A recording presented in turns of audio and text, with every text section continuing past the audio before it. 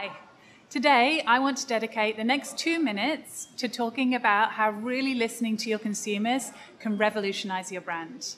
And I think the best way to look at this is by looking at a company that has been there, done that, and bought a t shirt. And that is Lego, a family owned business, actually.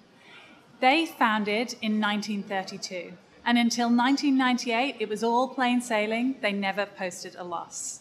But over the next five years, by 2003, sales were down and they were 800 million in debt. Fast forward another five years, and profits had quadrupled, outstripping Apple's. So that by 2015, they were 660 million in profit. But how did they do this? So they would do things that I guess you would immediately think of. They had diversified into theme parks and they had to stop doing all of that. They have moved into products that weren't true to the brick and they stopped doing those things. And interestingly, and I think most importantly, they actually started engaging with Lego fans, something which previously had been a no go area. They introduced a crowdsourcing competition. Winners from that competition would get 1% of the sales. That was where they discovered their Ninjago line, Lego designers had actually been focusing on superheroes, but through crowdsourcing, they discovered that ninjas was where it was at. And Lego Friends allowed them to crack the girls' market. It took four years of research.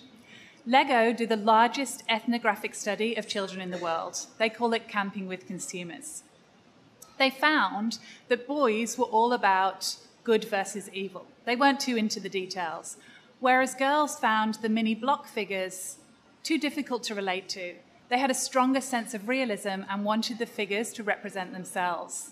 And my most favorite bit by far, when they introduced a loo to the sets that you could build in Lego Friends, sales went through the roof.